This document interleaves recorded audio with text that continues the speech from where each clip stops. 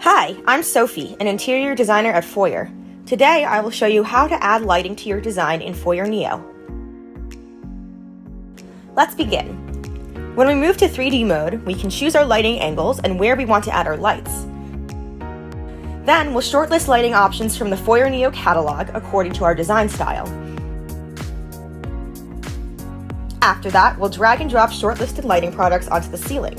We can put lighting product products on the default ceiling, as well as on any object created from shapes to make it look beautiful. For this project, we've selected a round recessed ceiling light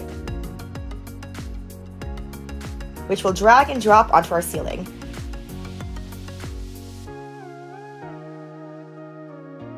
We'll also add a round pendant lamp and place it in the center to ensure we have the proper light intensity in the kitchen.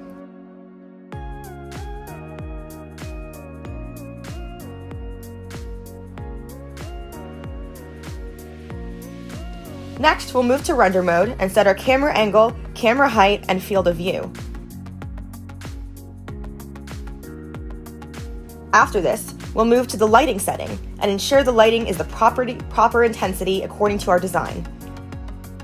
And last but not least, we'll save our view and click on the render button to submit our render.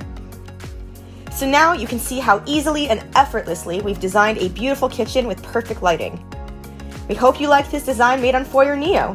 Comment below to share your thoughts.